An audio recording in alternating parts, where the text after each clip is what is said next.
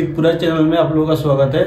आज हम लक्ष्मी बाबा के बारे में सारी डिटेल आपको बताएँगे और दिखाएँगे कि कैसे यहाँ पे तो मंदिर कैसे बना और कैसे श्रद्धालु लोग दूर दूर से यहाँ पे आते हैं और उन उन सबका मनोकामना पूरा होता है और बाबा के लिए दिल जान लगा के दूर दूर से लोग आते हैं और बहुत ही ज़्यादा साल में एक बार मेला लगता है, बहुत ही ज़्यादा यहाँ भीड़ होता है और आप लोग भी एक बार दर्शन करें, एक बार अपना मन्नत मांगे, ज़रूर आपका पूरा होगा। बाबा जी से मैं पूछता पूछना चाहता हूँ कि यहाँ पे कैसे यहाँ पे मतलब मठ बना और यहाँ पे कैसे क्या हुआ टोटल जानकारी बताइए बाबा के बारे में। जय श्री लक्ष्मी सखी महाराज।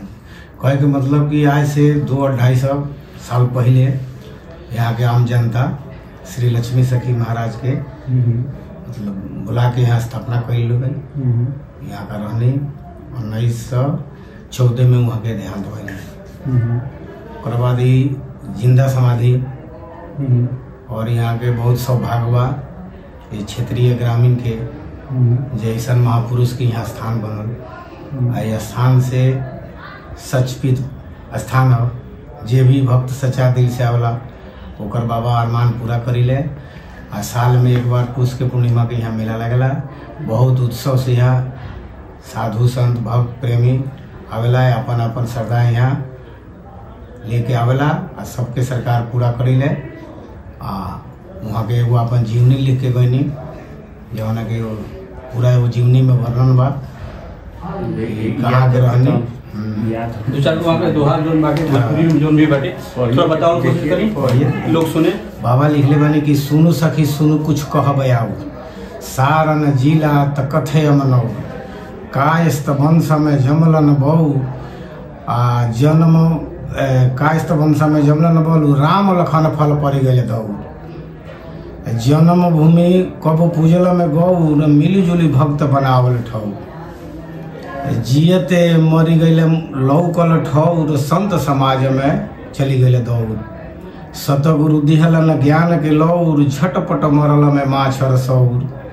पाकल ब्रह्म यज्ञ कर भौर खैल में साध संत मिली जौर। मौजे टेरुआ में अलन धौर आ मिली जुली भक्त बनावल ठौर लक्ष्मी सखी के सुंदर पियवा, यारे तुम लागी मेरे दौर कहे के मतलब कि बाबा के जीवनी है।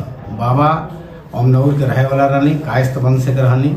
वहाँ का अपन जीवनी में, मैंने डिक्लेयर कैले बानी कि हम कहाँ के रहे वाला रहनी। लेकिन बड़ी सौभाग्य कि हमने ऐसा ग्रामीण क्षेत्र में वहाँ के यहाँ स्थापना भइल।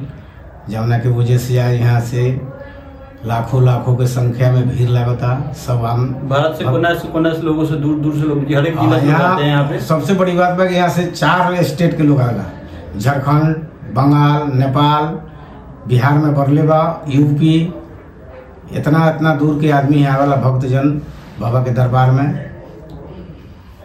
और बाबा के तो बहुत बड़ा विशाल प्रोग्राम बा यहाँ। बहुत कृपा बा यहाँ। कि जे भी भक्त आयल खाली हाथे ना गए जौना मनोकामना से आयल मनोकामना भगवान ज़रूर पूरा करीले वहाँ के सदा सदा कृपा रहेला सब भक्त पर। और गाँव जवार के बहुत उन्नति बा बाबा के स्थान से सब लोग खुशहाली बा।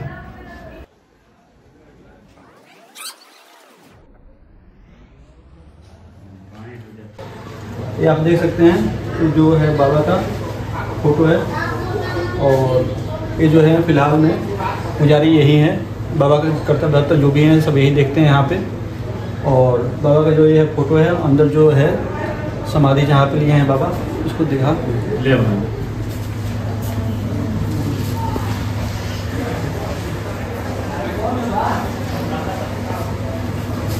नाम विद्या सर